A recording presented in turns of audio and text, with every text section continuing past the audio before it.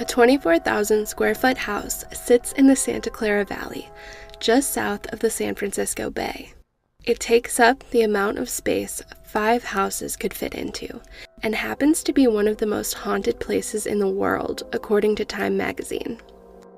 It's an estate that has become infamous for its corridors and stairways that lead to nowhere, and architecture that is beyond rational explanation.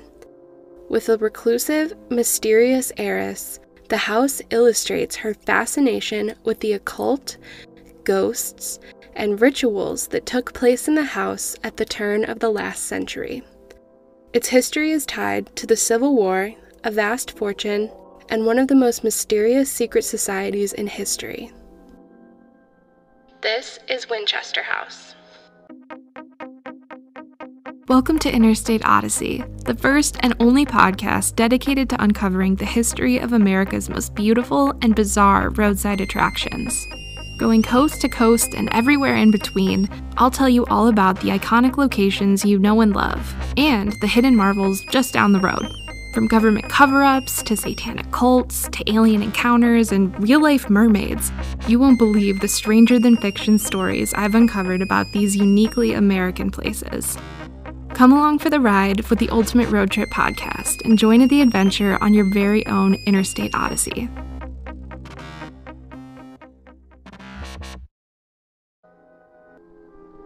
All houses wherein men have lived and died are haunted houses. Through the open doors, the phantoms on their errands glide with feet that make no sound upon the floors.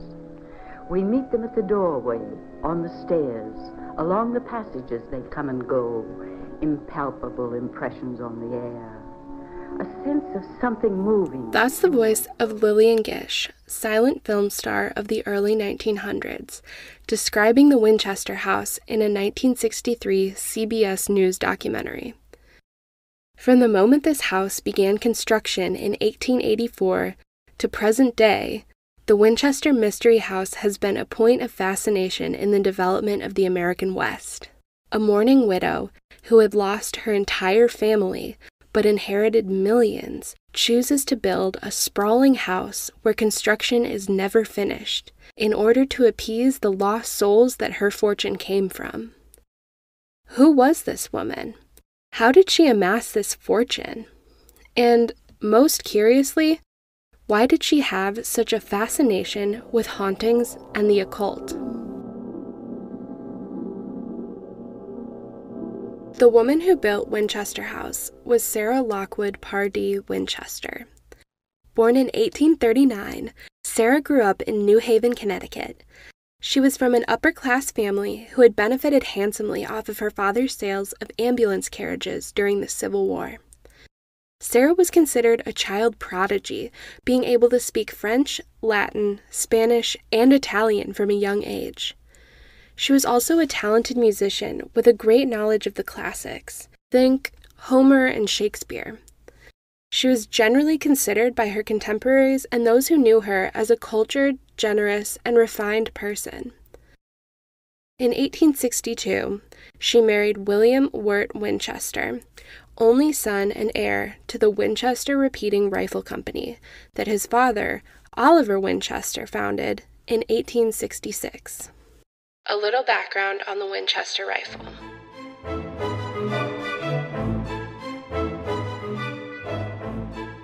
Oliver Fisher Winchester had begun his career in New Haven, Connecticut as a clothing manufacturer.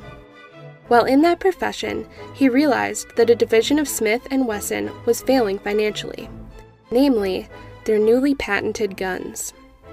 Winchester took this opportunity, gathered venture capital from other stockholders, and acquired the S&W division that was known as the Volcanic Repeating Arms Company in 1855. The volcanic rifle was not ideal and performed poorly, an engineer who now worked for Oliver Winchester was Benjamin Tyler Henry, who improved the volcanic repeating rifle by enlarging both the frame and the magazine, as well as newly redesigned 44 caliber rimfire cartridges. By 1860, this new design was known as the Henry rifle. Then came the Winchester rifle, After six years and 12,000 Henry rifles later, the company was reorganized and renamed by the Winchester Repeating Arms Company in 1866. The first Winchester rifle was called the Model 1866 and was an improved version of the Henry. Though repeating rifles were not popular during the Civil War, presumably because they were so new and untested, it became the preferred weapon of pioneers by the end of the 1800s, hence the nickname the gun that won the West. So, Oliver Winchester was worth a lot of money, like millions of dollars, which would be equivalent to hundreds of millions of dollars in 2020. In 1880, 20 years after Sarah and William Winchester were married, his father, Oliver Winchester, died of tuberculosis. That meant his ownership of the company went to his sole male heir, William. Tragically, a year after William inherited the company, he too died of tuberculosis, leaving Sarah a young widow. This was the second tragic death that Sarah had experienced in her short life.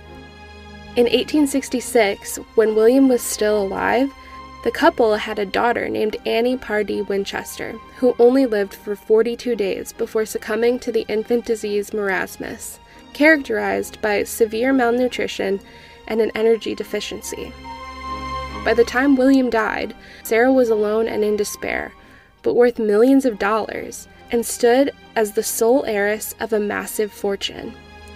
But before she moved across the United States to the Santa Clara Valley, she decided to spend several years traveling Europe, where she could have very likely gotten exposure to secret societies, including groups like the Freemasons and Rosicrucians.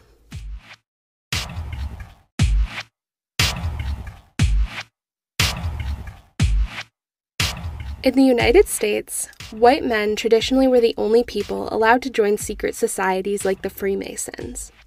In France, however, it was much more common for women to participate in these societies, as they were not explicitly forbidden from joining. To understand why Sarah was interested in these groups, I have to give you some background into what exactly these groups were all about.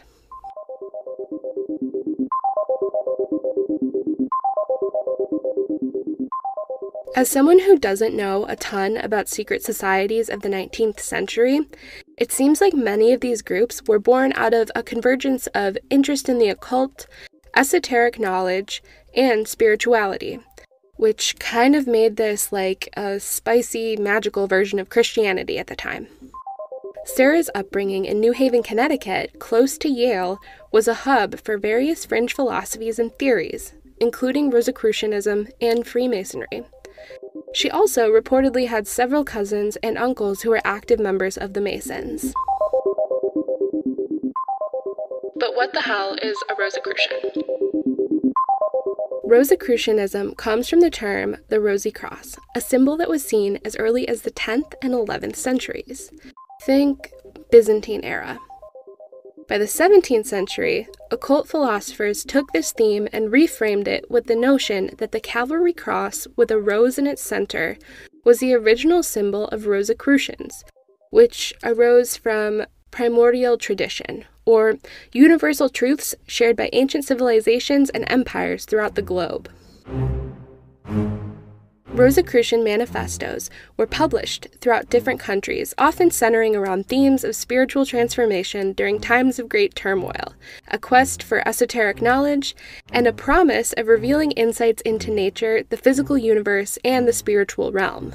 Often, the manifestos combine elements and references to the Kabbalah, Hermeticism, alchemy, and Christian mysticism. By the late 19th century, aka when Sarah was alive, secret societies like this were becoming extremely popular.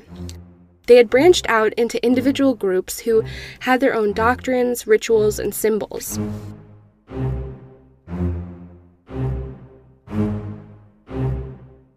At that time, there were three main societies that branched out into even more groups.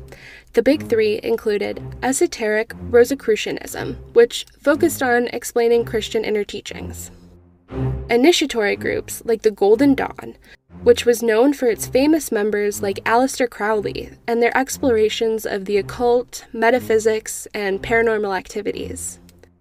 And Masonic Rosicrucianism, derived from the stonemason fraternities of the 14th century, who described themselves as a, quote, beautiful system of morality veiled in allegory and illustrated by symbols.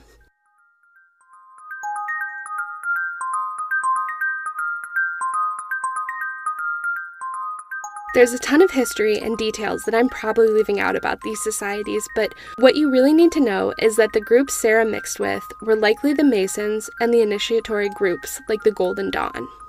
So, like a mix of National Treasure and Harry Potter. These groups really valued symbolism and ritual, which could have lent to Sarah's inspiration to build elements like staircases that led to nowhere and the general labyrinthine quality of the Winchester house as well as her interest in seances and attempting to contact the dead.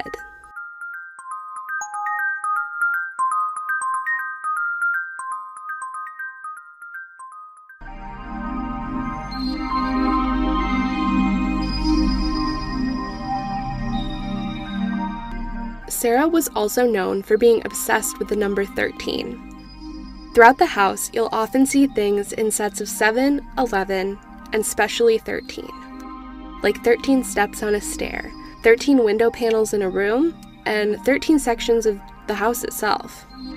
Though this seems like it would be born out of a notion that Sarah was drawn to 13 because it's a cursed number, the devil's number, or just plain unlucky, it could actually stem back to her exposure to these aforementioned secret societies and their proclivity for ciphers and occult symbolism.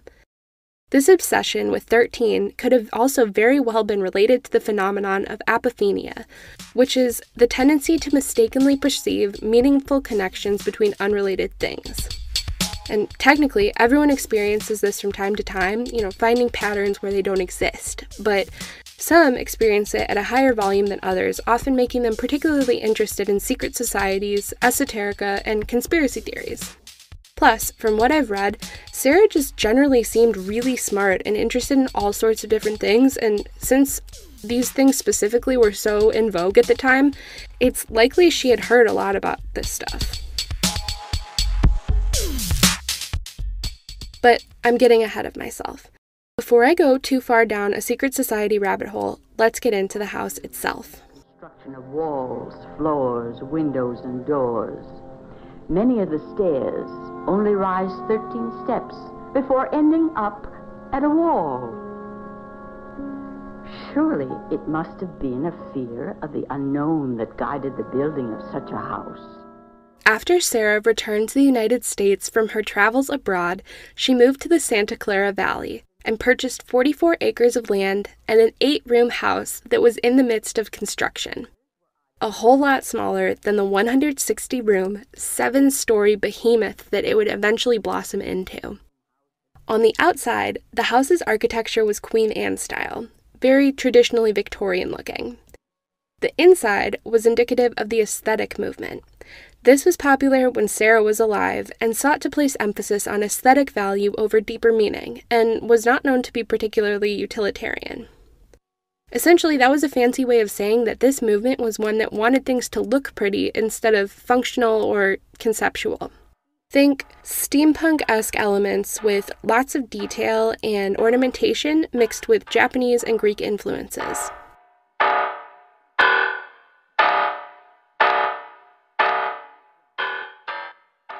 The house is filled with intricate stained glass, most notably the 13 spiderweb window panes, and priceless original Tiffany glass panels. Asymmetrical motifs filled the home, with doors that were not so door shaped but instead sloped and curved in different directions, and lavish elements like Lincrusta ceilings. For context, ceilings like these could also be found in places like the White House and the Titanic. A very overlooked element of this house was that there were some ingenious elements to it that really defined Sarah Winchester as an early adopter of new technology. Sarah had suffered from debilitating rheumatoid arthritis, and she wanted her house to accommodate her needs. In the late 1800s, it was all but unheard of for women to take showers. Instead, everyone usually just took baths. Since the movements of getting in and out of a bathtub were really difficult for Sarah, she designed her own state of the art shower in her house, something that was not popular until decades later. The entire house was outfitted with steam and forced air heating, and featured indoor toilets and plumbing, as well as push button gas lights. Of course, these all seem like things that are incredibly ordinary, but in the 1880s, they were downright revolutionary. She was reportedly earning upwards of $1,000 a day from the Winchester Company, so she was able to implement new and exciting innovations without budget coming into consideration. Another anachronistic feature was the call tube systems and bells that would notify servants where she was and what she needed. Even the fireplace was state of the art, with funnel systems that drained the ash out of the fireplace into a pit in the basement. Like I mentioned before, the Winchester House wasn't just a curiosity because of its size or because of its innovations in architecture and technology, but instead because of the absolutely illogical, sprawling construction. Supposedly, after the death of her husband, Sarah was referred to a medium from Boston named Adam Coons. Now, during this time period, along with secret societies, seances and interest in psychics were at an all time high. It's thought that because of the recent Civil War and illnesses like typhoid, cholera, and the flu sweeping through the country, helped to spur an interest in contacting the dead and communicating with spirits. Mary Todd Lincoln was known to be interested in all sorts of stuff like this, including attending seances.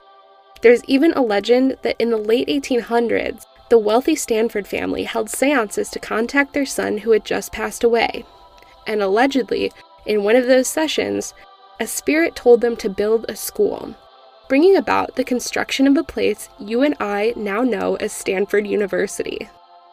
Obviously, this is just folklore, but it nonetheless illustrates how prevalent spiritualism was in the late Victorian era.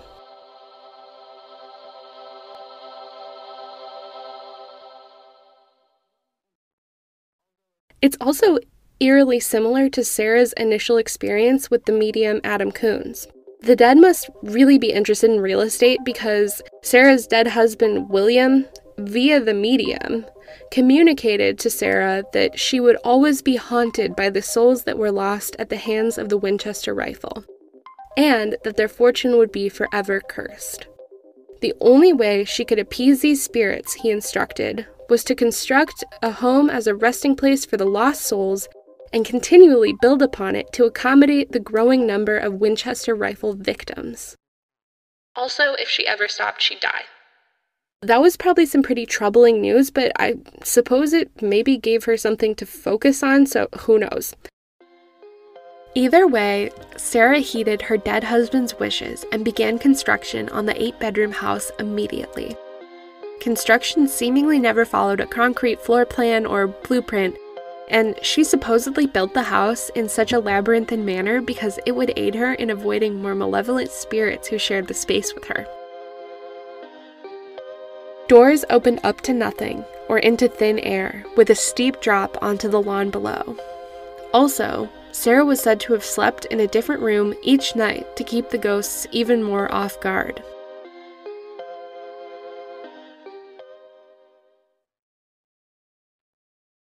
As the construction of the house continued, outbuildings like the stables and barns eventually became connected to the main house.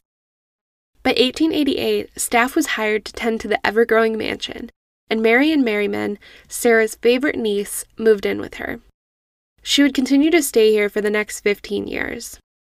Reportedly, Sarah Winchester very rarely spoke to her staff, but instead Marion would speak to them for her. A lot of gossip swirled around the staff that worked at the house, mainly because of the strange nature of the house. People couldn't figure out what kept people working at the house for such long stretches of their career, often attributing it to them being bound to the house in some mystical way. But in reality, Sarah paid her staff very well, let them live in the mansion rent free, and provided them with a steady job. Even if their workplace was pretty out of the ordinary, that still seems like a pretty good setup. They often had to deal with rooms being boarded up seemingly overnight and ever changing architecture, which would be disorienting even if people didn't think the mansion was haunted. Staff reportedly saw Sarah Winchester pretty rarely, but the house was built in a way that she could be observing her staff without being seen. Anytime people did see Sarah, she was known to be dressed in all black Victorian attire, with a black veil covering her face. Which I will give this one to the neighbors. It would be pretty ominous if you lived next door to a sprawling mansion with an owner that you never saw or spoke to, and you're just looking into the garden on a sunny California day, and the only glimpse you ever get of her is when she's fully dressed in black and her face is obscured by a funeral veil. That would be curious to say the least.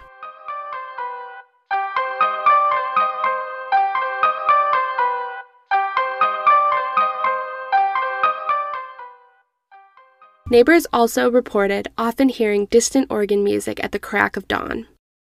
It's safe to say that Sarah had bad insomnia and enjoyed passing the time by playing her massive pipe organ that she had put in the mansion. Sarah and the Winchester house definitely seem to have fallen victim to what is colloquially known as the Liberty Valance effect. Basically, the idea that when legend becomes a fact in people's minds, print the legend. And this totally makes sense because the folklore surrounding the Winchester house is plentiful and fascinating, albeit often speculative. Plus, the Winchester Mystery House website makes a really good point that, of course, neighbors were going to think she was weird. She was doing things like buying property, traveling alone, spending money how she wanted to, you know, things that were unheard of for a woman to do at the time, but completely normal and expected of a man. Over time, Anecdotal stories began to trickle out of the house, with accounts from ladies' maids about hauntings and paranormal activity. This just added more fuel to the gossip of neighbors. Probably the most notable story of absurdity and eccentricity is that of the grand ballroom. This is one of the most beautiful and impressive features in the house, though it's not the only ballroom, I think there are like three others throughout the property. However, this one was the most lavish. It was supposed to have cost upwards of $9,000 in the late 1800s, so I can't imagine what that would convert to by today's inflation rates. I guess she decided that at one point she wanted to have a grand ball and a dinner party.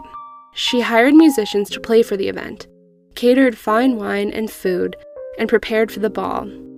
When the day of the ball finally came, the musicians showed up, the tables were set, and the night was ready to begin. It wasn't until the names of the guests started being announced for their entry did the musicians come to the troubling realization that nobody was coming, and that they were hired to play a completely empty room with no guests. Apparently, they fled in fear, and that was the last of the grand balls that were ever held at the Winchester house while Sarah was alive.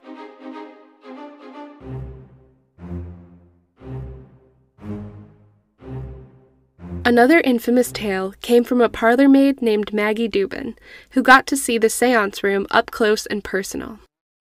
Sarah was known not to let staff into the seance room while she was using it, but one night, Maggie hid inside of the room as Sarah performed one of her nightly rituals. She apparently saw Sarah clutching a large urn, and Maggie was so frightened by this she ran out of the room screaming. Other accounts include hearing the cries of a baby throughout the mansion. Let's dive a little bit deeper into the seance room. Sarah Winchester reportedly held seances in her seance room every night at midnight. The details of what exactly happened in that room are somewhat shrouded in mystery because of how private Sarah was. We do know, however, about the construction of the room. The seance room has many different corridors that lead into an area near the room, but only a couple of entrances and exits. Sarah was known to take different routes, almost like an obstacle course, every time she traveled to this particular room because she never wanted the spirits in the house to know the specific route she was taking. One of the exits looks like a secret passageway, because the only way to access it is through a closet that leads into another room. When you're in this seance room, you can use the door handle to access this passageway, but not the other way around. That particular door only had a handle on the inside and could not be accessed from the outside. There were also hooks carefully placed on the wall, 13 of them, of course. As I had mentioned before, Sarah was known to do these seances every night alone in this room, but I think that might be an artifact of the gossip of the time. It was way more common for seances to be a more social event with multiple participants. Plus, why would you need 13 coat hooks if you were the only person in the room? So, we'll never really know what went on in there. I mentioned before that a lot of these stories are only legends and local lore. But a frightening occurrence that we do know took place while Sarah was living in the house was the Great San Francisco Earthquake of 1906. The earthquake happened while Sarah was sleeping, and as the house began to crumble, she was nearly crushed to death. She was pulled from the rubble, ultimately unharmed, but much of the fourth floor, as well as the seven story tower, were damaged and later demolished.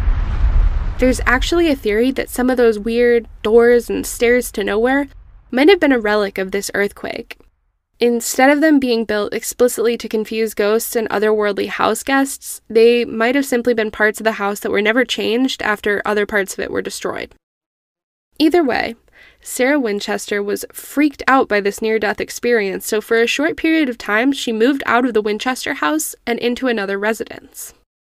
It wasn't until 1912 she returned to the house to do a little more building.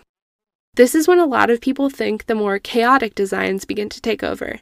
But, like I said before, that could have very well been because they were trying to build around the parts of the house that the earthquake had partially destroyed. The passageways and doors that go nowhere. The reminders of demolished wings or earthquake-ruined doors. Thousands of doors and windows. But try as one can, there is no explaining real the answer size. The incredible sprawl of the hundreds of hundreds. Hearts are dust. Hearts' love remains. To live in hearts we leave behind is not to die. Miles of corridors. The one of the unearthly qualities. In 1922, after nearly 40 years of living in and building the Winchester house, Sarah Winchester passed away in her sleep. Her niece, Marion Merriman, who had spent decades living with Sarah, inherited a great portion of her assets. Just a few months later, the Winchester house went up for auction. It was purchased by Mamie and John Brown, who had initially wanted the property to build a small theme park with a wooden roller coaster called the Backety Back, constructed by John Brown when the family was living in Canada. Once they realized that there was so much history behind the Winchester house, they pivoted, making it into a museum where people could visit and learn about its mysterious construction and owner. Mamie Brown was the first official tour guide of the home and also opened up the gardens to the public for neighbors and visitors to picnic at. Around that same time, Harry Houdini visited the house on Halloween night of 1924, looking to get some answers about the infamous rituals that were performed, as well as to carry out a seance himself. He was also apparently the one who coined the term the Winchester Mystery House. And tour guides at the Winchester House claim that Houdini did not believe much in seances, but this one apparently shook his strong skepticism in some way and left him with more questions than answers. To this day, the Winchester Mystery House is open for tours, so you can go and decide for yourself whether or not it's actually haunted. As an added bonus, flashlight tours at night are given to really boost the fear factor. While I was researching the house, I stumbled upon a great Reddit AMA that was done by a former tour guide, and the general consensus seems to be that the house is indeed haunted. Anecdotes of other tour guides not wanting to go to certain floors, light bulbs that stay lit even after they're unscrewed, and sounds of footsteps were mentioned. The original poster also believed that the scariest part of the house was the servants' quarters on the third floor. If you're not in California or you don't want to make the trip, you can also get a better representation of the mansion from the 2018 film Winchester, with Helen Mirren starring as Sarah Winchester herself. The beginning of the movie is really helpful in showing the layout of the house because it was actually filmed there, and they do a great job of highlighting some of those ingenious elements that Sarah added to the house, like the call tubes and the shallow stairs that aided in her mobility when she suffered from arthritis.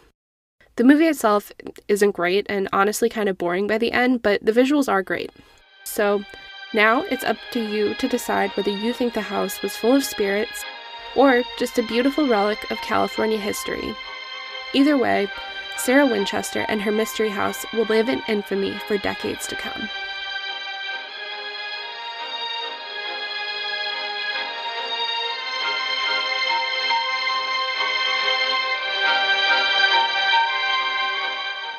This has been a transmission of Interstate Odyssey, Episode 2.